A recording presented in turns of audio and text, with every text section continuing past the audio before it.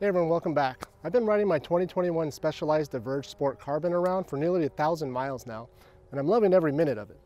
However, there are a few things that have come to my attention that I wish I had known before buying the bike. So in this video, I'm going to give you seven things you should consider before jumping on the hugely popular Specialized Diverge bandwagon. So number one is geometry.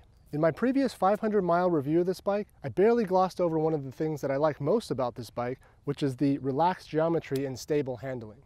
I know, it's super vague.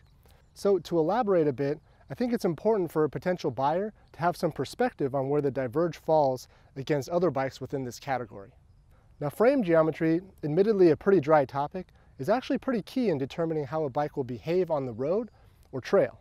In the gravel slash all-road category, on the spectrum from more upright to more aggressive stack and reach numbers, the Diverge actually tends towards more upright. Meaning, in theory, it's good for those super long days in the saddle where back and neck strain can become an issue. Now, without going too deep into the geometry charts, one of the things that stands out about the Diverge is that compared to other popular bikes in this segment, like the Ibis Hakka, the Santa Cruz Stigmata, or the Cannondale Topstone, the stack, which is the vertical distance from the bottom bracket center to the top of the head tube, is actually larger on the Diverge. Now this partially contributes to the more upright riding position, improving comfort during long hours in the saddle.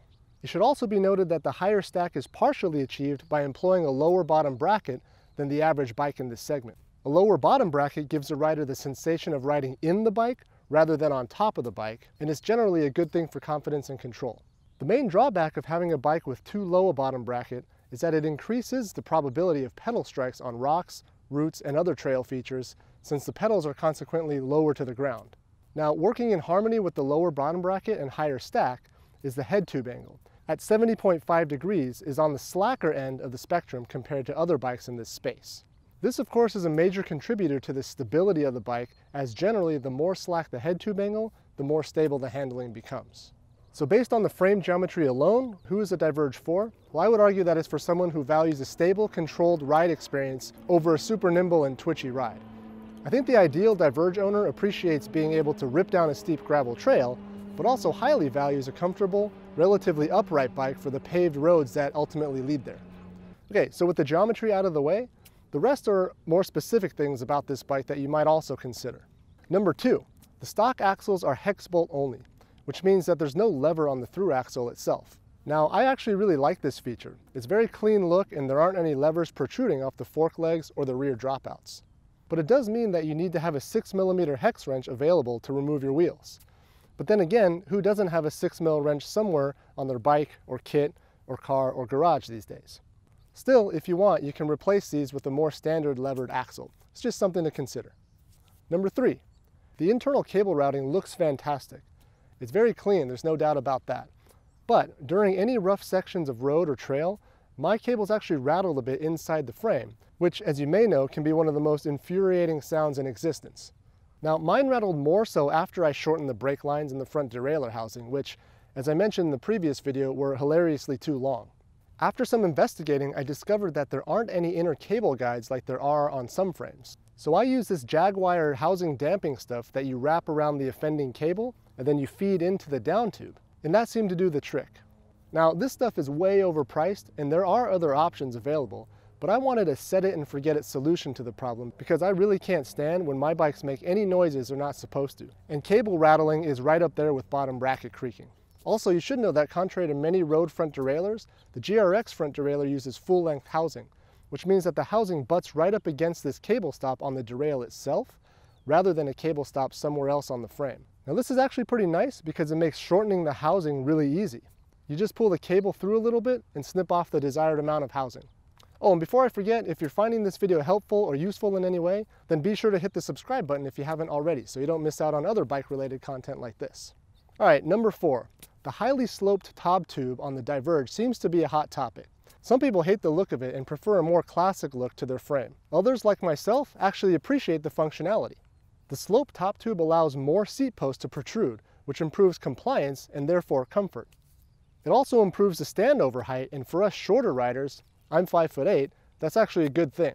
The only functional drawback of a sloped top tube like this is that it leaves less space in the front triangle for frame bags. Even a half frame bag on a 52 centimeter frame like this would make it tough to access the water bottles with normal cages. So if you plan to do any bike packing or touring on this bike and want to use a frame bag, you might have to resort to using side load bottle cages, which is no big deal. It's just another thing to consider.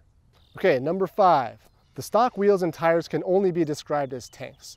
Now I've said it in a different video, two videos actually, but upgrading the stock wheels and tires has made a greater difference on this bike than on any previous bike that I've owned. To add to that, the stock G540 rims were out of true after only 100 miles or so. It's not a huge deal and nothing I couldn't fix in my own workshop, but I'm thinking Specialized is actually expecting people to upgrade these wheels as they really don't do the bike justice. Now if you get a chance, check out the detailed video up here or down in the description where I save over a kilogram of weight by upgrading the stock wheels and tires to these Hunt Carbon wheels.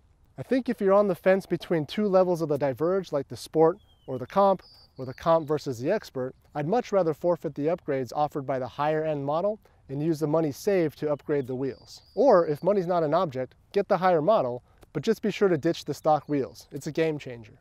Number six. Now this is a sport carbon model, which gets a standard carbon seat post. The next level up, which is the comp model, gets the carbon Terra seat post, which isn't highly advertised, but is supposed to offer a lot more compliance. The idea here is that the additional flex in the seat post adds to the rider's comfort, and it's a $250 component when purchased separately.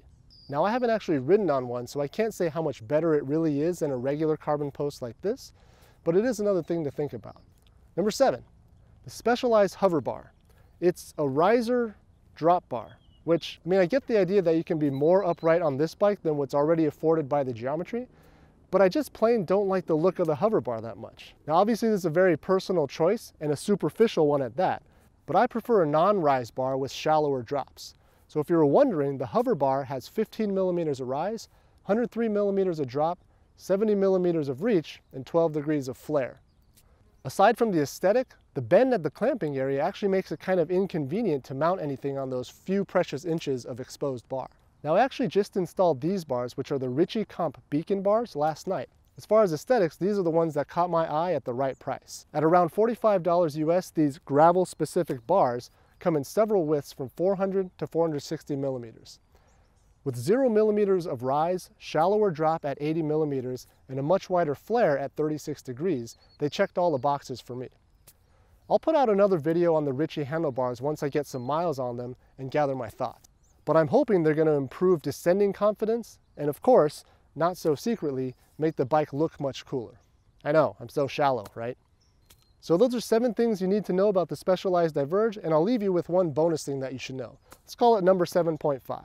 I used to use my old seat bag from my road bike to hold spares, CO2, and tools. And I never noticed just how noisy all that crap in the bag is until I was flying down a steep gravel descent. All I could hear were tools and CO2 cartridges banging around, and it made me unreasonably upset to hear. Now since then, I've upgraded to this Dakine Hot Laps gripper, which is a wrap style seat bag that cinches everything down nice and tight. And since then, it's been rattle-free, creak-free bliss. Highly recommended for anybody transitioning from road to gravel. Now I understand that this may seem like a video just complaining about a bunch of stuff on the Diverge, but it's really not. I really do love this bike. It's far and away the best drop bar, roadish style bike that I've ever owned. And I really just want you to love yours as much as I do. So I hope these seven and a half considerations are helpful when making your purchase decision. And if you already own a Diverge, it'd be really nice to hear what things you wish you had known before buying down below in the comments. Okay, so that's it for this one. Thanks for watching and thanks for subscribing if you haven't already, and I'll see you next time.